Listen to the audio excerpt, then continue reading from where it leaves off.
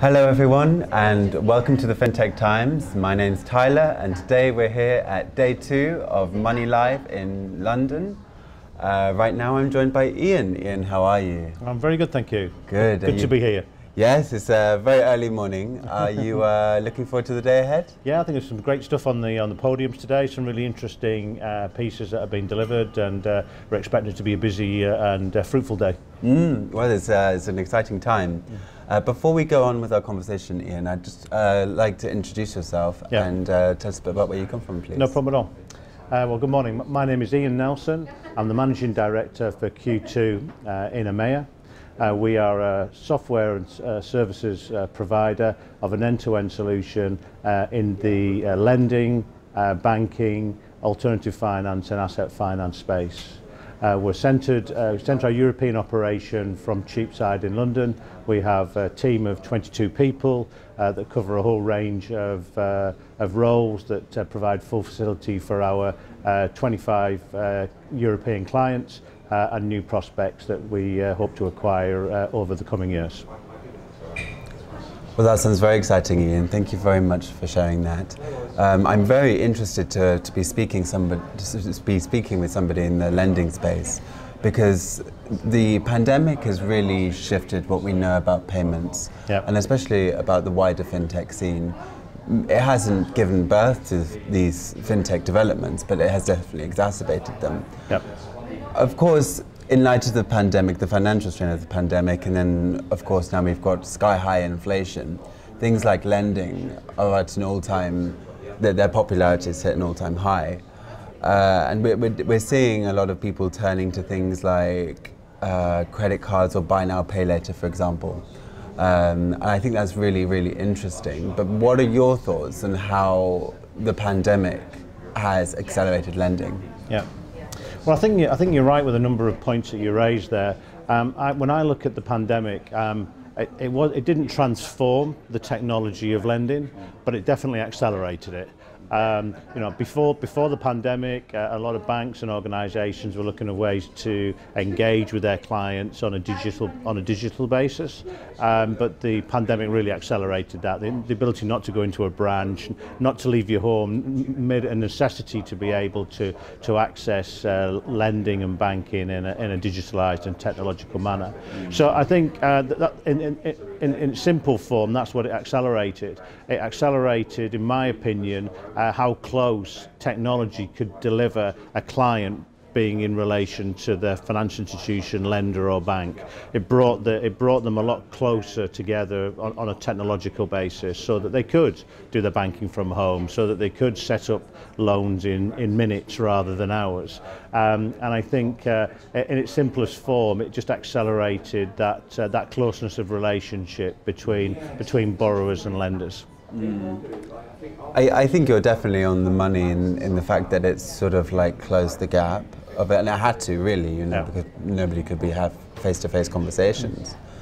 Um, we we touched up- upon it just a bit before, but I was wondering in terms of how people are borrowing and what models they're using to do that. Yeah. What models are you excited to see right now? Well, I think I think I think we've seen from the from the point of the pandemic, we've seen a we've seen a step change in, in terms that acceleration has really picked up. So at the point of the pandemic, I think it was just pure accessibility. You know, there, there was large parts of the of the market that were just inaccessible on a technological basis, and, and we saw some uh, some some um, great work that we did in the market in terms of making just pure accessibility to to to uh, to lending and to borrowing a lot more easier. Uh, so I think in, in the first instance that's what the pandemic did. But since that point, the new models that are coming to mar market, and we're seeing a lot of uh, excitement and interest in buy now, pay later. You mentioned it earlier.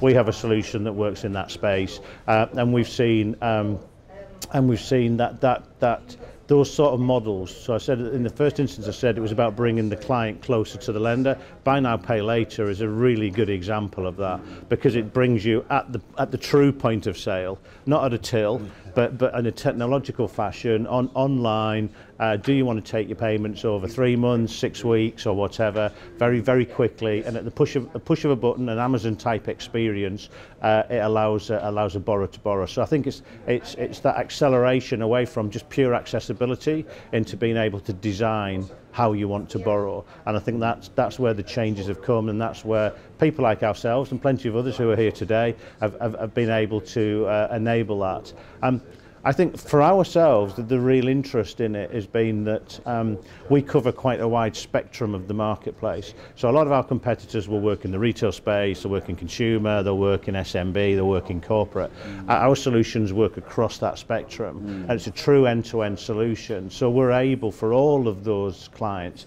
to be able uh, right at the beginning through technology to be able to set up borrowing regardless of which uh, sectors that the, the, the lender is working or the borrower is coming from. And that's why we found it such, a, such a, an exciting period of time in the technological uh, environment.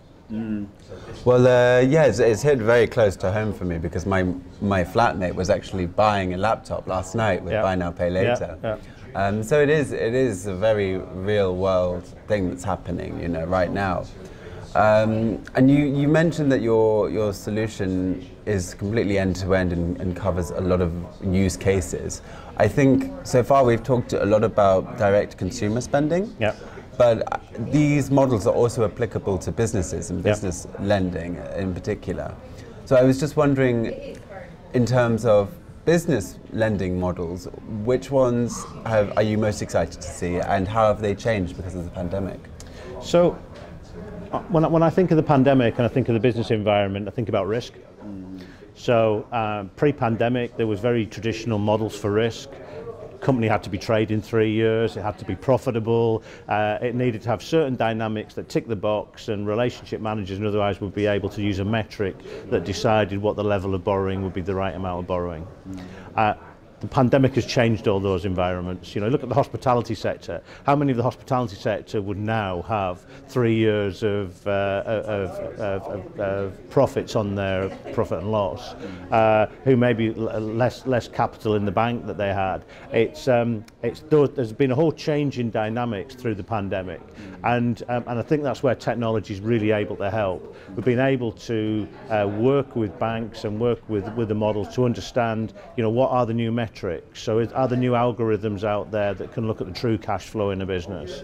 Um, can you, we've got a solution called Precision Lender that allows um, relationship managers within banks to price for the bank's capital at the point of sale. Mm. So again, being able to bring a lot closer the decision making to the client and the client's requirements. And I think all of those pieces of technology bring new metrics, new algorithms, new dimensions to the model, in, uh, to the market in a, in a much more flexible and agile manner. Prior to the pandemic, I worked in a bank for 25 years, oh, and, and, and I understand that if you wanted to change the, the risk uh, appetite within a bank, it could take weeks, it could take years, it could take a long time to get that done. Whereas with technology now, you're able to impart that those changes very quickly. Mm. You're able to use new algorithms and different algorithms and, and impart them at the point of sale so that you're, uh, you're as a bank, you're having much more control over that at, at, at the time that you make the decisions. Um, but from a consumer, from a, from a corporate perspective, uh, they, they, they see those changes very, very quickly and can, and can understand the different types of models, algorithms or otherwise that, uh, that are reflecting their current market space rather than a historic one. Mm. Well, it's, it's all the power of technology, really. It's, it's done so much to transform how, how people have access to funding and resources that they need in a, in a time when they really need it as well. Yeah. So it's, uh, it's very interesting points that you've raised, but unfortunately that is all we have time for today, Ian. No problem at all. I've, I've really enjoyed speaking with you and I hope you enjoyed the rest of the event today. That's great, thank you very much. Thank you. Thank you.